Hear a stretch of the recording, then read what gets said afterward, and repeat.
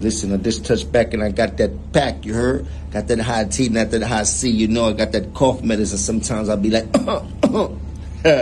you heard? I got four knockouts and two babies that knock you out, not that pock you out, but that shit that knock you out. Plus, I got that shit that make you can't feel your face. You heard me? Make you feel like you smoking on base.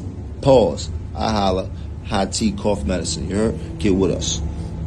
Stamps coming soon. And Chris Bosh is at home taking cooking classes. This isn't the first time I've done this, Lisa. I'm not trying to, you know, not trying to impress anybody.